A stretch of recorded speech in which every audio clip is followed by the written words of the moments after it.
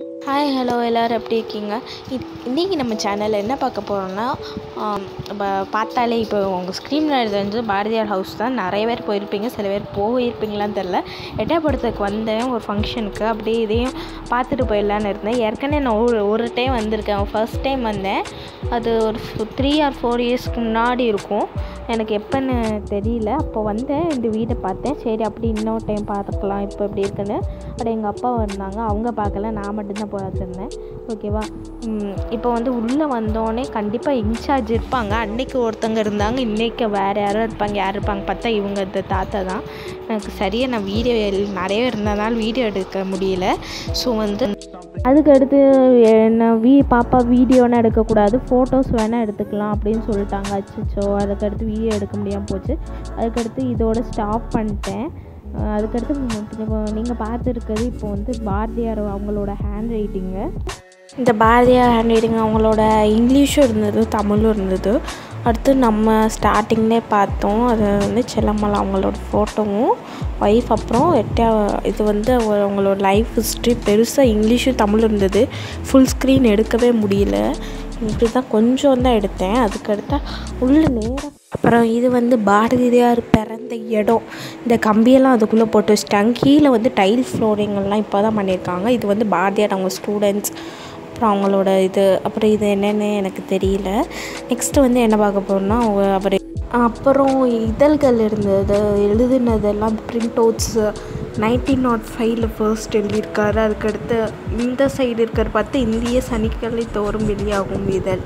அப்புறம் இது வந்து பாரதியாரோட தமிழ் ஹேண்ட் ரைட்டிங்கு ஸ்டார்டிங்கில் பார்த்தது இங்கிலீஷ் ஹேண்ட் ரைட்டிங்கு அடுத்து தமிழ்மொழி தமிழ் மொழி மீது திராடாத காதல் கொண்ட மகாகவி பாரதியார் பல மொழிகளை அடைந்துள்ள தமிழ் தவிர ஆங்கிலம் சமஸ்கிருதம் பிரெஞ்சு வங்காளி லத்தீன் ஜெர்மனி உருது அரபி தெலுங்கு மலையாளம் உட்பட்ட பன்னெண்டு பன்னெண்டு மொழி தெரியனால இந்த மொழி எல்லாம் இதெல்லாம் அடைஞ்சிருக்கனால யா அவரை யாமறிந்த மொழியிலேயே தமிழ் மொழி போல இனிதாவது எங்கே காணும் அப்படின்னு சொல்லியிருக்காரு. இதுதான் இதுக்கு பின்னாடி இருக்கிற கதை. அடுத்து அடுத்து வந்து நம்ம வே- இன்னும் கொஞ்சம் அவுட் ஆஃப் ஜூமில் வந்தால் அவர் வந்து எழுதின பாரதிய கையெழுத்து சுற்றி இந்த மாதிரி தான் வச்சுருந்தாங்க. அடுத்து வந்து இது என்னன்னு பா பார்த்தீங்கன்னா இது வந்து பாரதியாரோட அப்பா வந்து அந்த காலத்திலே சரியாக சொல்லணும்னா எயிட்டீன் நைன்டி த்ரீலே அவங்க அப்பா வந்து காட்டன் ஃபேக்ட்ரி வச்சுருக்காங்க. அப்போயே இருந்திருக்கு. ஸோ வந்து அதில் தான் அது அந்த அதுக்குள்ளே லிஸ்டெல்லாம் இதுக்குள்ளே பேஸ்ட் பண்ணி பத்திரமா வச்சுருந்தாங்க. அடுத்து வந்து இது வந்து அதே மாதிரி தான். கடிதம் கடிதம் எழுதியிருந்தாங்க. அது கிளியராகவே இல்லை. லைட்ஸ் எல்லாம் அது வந்து இருந்ததுனால அது நம்ம ஃபோட்டோவுக்கு கிளியராக இல்லை. அப்புறம் இதெல்லாம் கொஞ்சம் இந்தியாவுக்காக இந்தியாக்காக சனிக்கிழமை வெளியாகும். அப்புறம் இது என்னன்னா இது வந்து மகாகவி பாரதியார் அதாவது பாரதியாரோட குடும்ப இந்த ஃபேமிலி ஃப்ளோ சார்ட் மாதிரி. நமக்கு புரிகிற மாதிரி அந்த மாதிரி பே நல்லா வரைஞ்சி அந்த மாதிரி இருந்துச்சு. நல்லா புரிஞ்சுக்கலாம் யாருக்கு யாருக்கு பண்ணவங்கன்ட்டு நெக்ஸ்ட்டு வந்து அவங்க ஃபேமிலி ஃபோட்டோஸ் தான் இதெல்லாம். அங்கே எடுத்த அவங்க ஃபர்ஸ்ட் இருக்கிறது அதுக்கடுத்து ஓவர் வியூவில் எடுக்கணும்னா இப்படி ஒன்று இருந்தது. ஓகேவா இப்போ இந்த சைடும் பார்த்தா அப்படி தான் இருக்கும். இதில் வந்து பாரதியார் இருக்க மாட்டாங்க. ஃபர்ஸ்ட் இருக்க ஃபோட்டோவில் அதில் வந்து அவங்களோட ஃபேமிலி மெம்பர்ஸ் இருப்பாங்க. அடுத்து வந்து இது வந்து வஉசிக்கு எடு எழுதின கவிதை வந்து இருந்தது. அடுத்து வந்து இது வந்து அவர் எழுதிய பாடல்கள். அது வந்து அந்த பேப்பர்லேயே போட்டு வச்சுருந்தாங்க.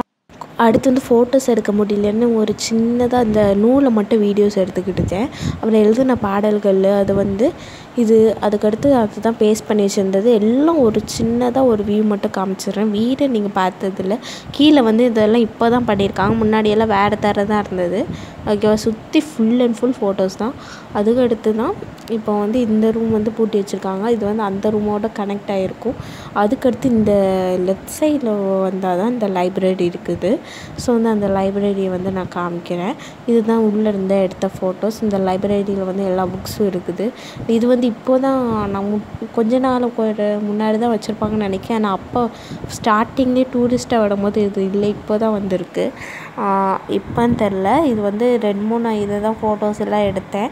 அது அதுக்கடுத்து நம்ம வந்து என்ன பார்க்க போகிறோன்னா அதுக்கடுத்து குட்டியாக இந்த மாதிரி இந்த அவுட் சைடில் வந்து கிணறு மாதிரி கட்டி வச்சுருந்தாங்க. அது ரொம்ப ஆழமாக தான் இருக்குது அதுக்கடுத்து இதுதான் இந்த இங்கே பார்த்துருக்கீங்களே இந்த தர தான் உள்ளே இருந்திருந்தது இப்போ தான் எல்லாமே டைல்ஸ் எல்லாம் போட்டு ஸோ அவ்வளோதான் என்னால் இவ்வளோ ஃபோட்டோஸ் தான் காமிக்க முடிஞ்சது. ஸோ வந்து இப்போ நீங்கள் வீட்டுக்கு கண்டிப்பாக இதை வந்து விசிட் பண்ணி பார்க்கலாம். விசிட் பண்ணி பார்த்தா தான் உங்களுக்கு இந்த எல்லாமே புரியும். எல்லா திங்ஸும் இங்கே இருக்குது. எல்லாமே கொஞ்சம் பத்திரமா இப்போ வரைக்கும் வச்சுருக்காங்க மெயின்டெனன்ஸ்க்கு எப்படியோ. அது கிடச்சிருக்கு. ஸோ வந்து அதை நல்லா யூஸ் பண்ணிக்கலாம். நிறைய தெரிஞ்சுக்கலாம் இந்த இதிலேருந்து ஸோ வந்து இந்த கண்டிப்பாக நீங்கள் வந்து விசிட் பண்ணி பாருங்கள் பாய்